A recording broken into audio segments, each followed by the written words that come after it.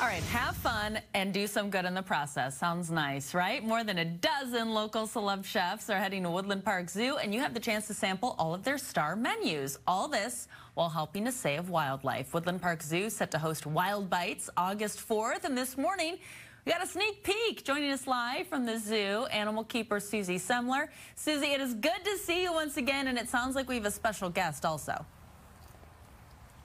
Yes, good to see you. Good morning. I am coming here with uh, Harry, our striped skunk, who is also here to tell you all about Wild Bites. Good morning. Good morning, and good morning, Harry. All right, so tell us a little bit about Wild Bites. I have done this event before. It is super fun. Um, what can people expect when they head out? Right? It sounds like so much fun to me. So people can expect an after hours event at the zoo. And it does feature 13 local chefs. They can walk around the zoo, they can sample tasty treats and even sip on some beer or some wine and nice. see all sorts of animals. We're even going to have some of our ambassador animals there, so you might get to see Harry Skunk live in person along with other animals like reptiles or birds. You never know what ambassador animals are going to make it out for the party. Yeah, this is really fun, and it's a great way to see the zoo sort of behind the scenes as well. Uh, Susie, can you talk a little bit about how this helps benefit Woodland Park Zoo?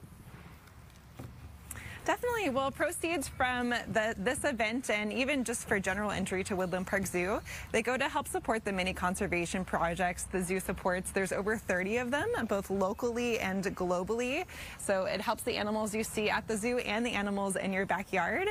And so you can feel good about coming to this special event. Like I said, it's adults only. There's food, there's drink. You're going to have a great time and you're definitely going to support wildlife. I love that. So I do need to ask, uh, I've seen a lot of toys that Harry Harry's playing with that are like dog toys. I'm seeing a Kong and you're feeding him treats.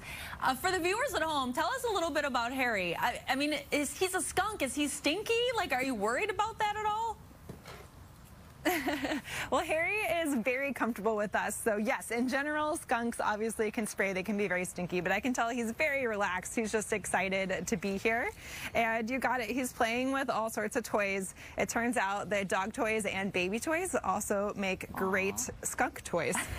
so he's hanging out with his, um, I've got some mealworms hidden in Aww. this paper box for him. He's also got some worms in that Kong toy that he keeps pushing around with his nose there. Aww. So these are are just fun things for him to investigate and work a little bit. He prefers to work for his food, and as you can see, he's a very busy guy. Yeah, he's having a good old time, so it's good to see him. It's good to see you as well. People can get tickets right at zoo.org for, for uh, Wild Bites.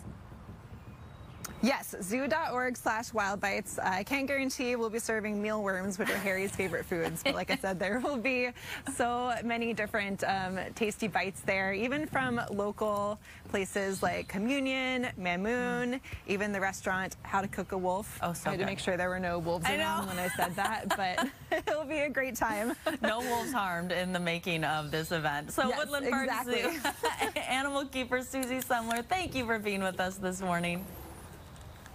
Thank you. Absolutely. All right.